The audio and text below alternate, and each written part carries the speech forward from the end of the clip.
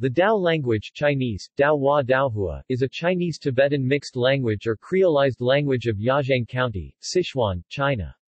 Word order is SOV as in Tibetan, Yeshes Vodgsal Atshogs 2004-6, while the lexicon consists of words derived from both Chinese and Tibetan. Distribution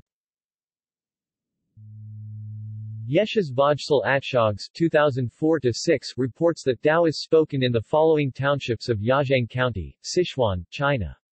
Within these administrative townships, Dao is spoken in eight villages, comprising a total of 504 households and 2,685 individuals as of 1995.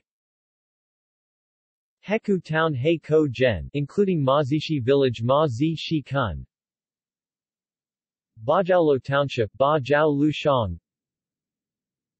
Xiala Township Ga Shang. See also.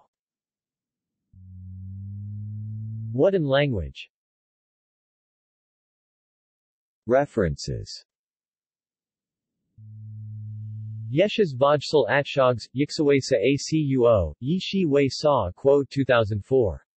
The Study of Dao, Dao Huayan, Beijing, Ethnic Publishing House.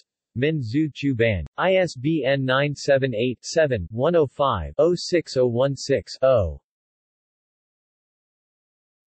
External links Dao numerals